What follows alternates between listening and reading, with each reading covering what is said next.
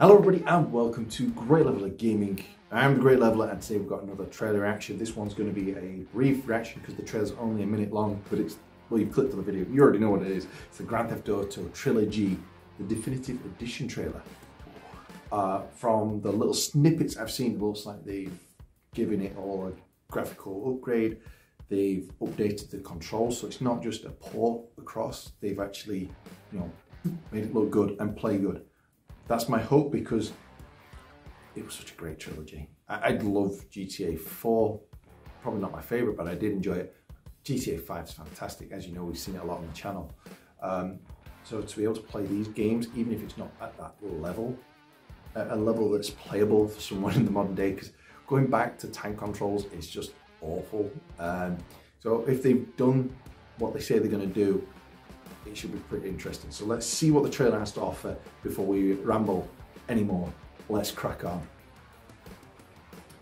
And yes, of course, it's rated M. Hello? Oh, yes. That does look good already. I guess it's not groundbreaking. I got a little job. It still looks like, you know, old-fashioned.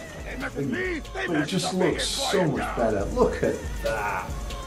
I'm happy with that glad to see things back the way they used to be. Everything just looks more crisp, more polished, without losing the charm of the old games. Although he looks a lot meaner now. Well, that ought to put the coyote in the chicken coop, huh? Oh, yes. Oh, Dodo. Oh, yeah. And if he's ratting us out, kill him. Actually makes it look more cartoony. Jeez, haven't you ever seen a movie? Uh, oh, so like good. it's a bad thing. Shut up, Carl. All you're supposed to do is catch the damn train. November 11th. Wow, okay, hopefully this trailer reaction is out before then. Um, that snuck up out of nowhere. Okay, so it didn't really touch on the controls. I'm sure I've seen that somewhere, so it must have been someone else talking about it, or maybe there's another trailer out there that I've missed. Um, the controls are the biggest drawback for me, um, and the aiming system in general. Uh, I've watched clips of people playing San Andreas, which was a phenomenal game.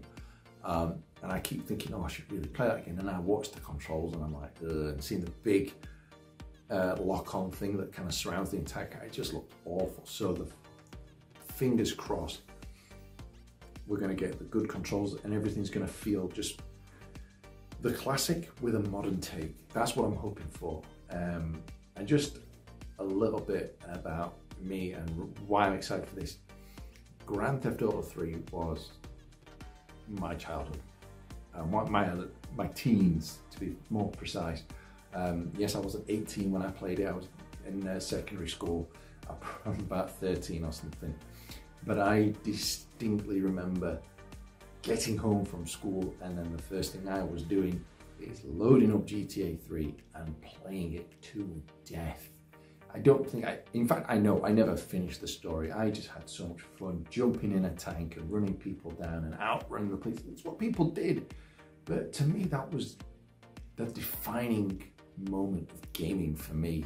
Um, uh, and the fact that it's now back and I can play it again, it just, just, mm, so excited, so happy for it.